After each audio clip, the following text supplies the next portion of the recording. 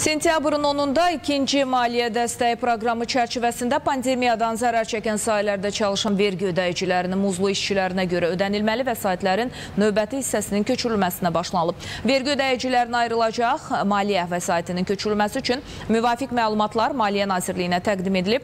Növbəti ödəmələr çərçivəsində 21712 vergi ödəyicisinin 223799 muzlu işçisinə görə 50 milyon manat vəsaitin ödənilməsi nəzərdə tutulur. İqtisadiyyat Nazirliyi yanında Dövlət Vergi Xidmətinin şöbə rəisi Tural Vəliyev maliyyə dəstəyinin ikinci mərhələsi çərçivəsində vəsaitlərin avqust və sentyabr aylarını əhatə etməklə iki mərhələdə bərabər hissələrlə ödəniləcəyini bildirib. İqtisadiyyat Nazirliyi yanında Dövlət Vergi Xidməti olaraq bir daha vergi ödəyicilərinin nəzərinə çatdırırıq ki, maliyyə dəstəyi almış vergi ödəyiciləri əldə edilmiş maliyyə dəstəyini işçilərin əmək haqlarına yönləndirməlidirlər.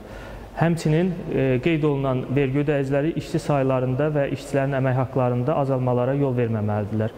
Əks hallara yol vermiş vergi ödəyicilərinin hüquqi məsuliyyət məsələsinə baxılacaqdır.